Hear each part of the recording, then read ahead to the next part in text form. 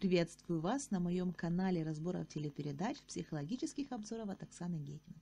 Сейчас я вам расскажу, почему Ксения Вишина выбрала именно Александра Эллерта. А вы мне напишите в комментариях, кто вам нравился больше, Саша или Леша. Люди творческие – это часто нестандартные люди. Они могут жить в нестандартных семьях. Например, в дистанционном браке. Посмотрите мое видео о дистанционном браке.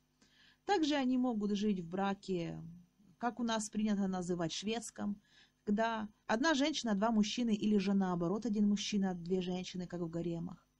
Творческие люди склонны создавать творческие, нестандартные семьи. Они часто не вписываются в принятые каноны.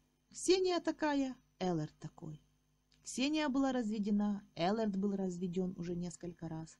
Их родители тоже разведены. Они привыкли к нестандартности. У Леши все стандартно, все счастливо.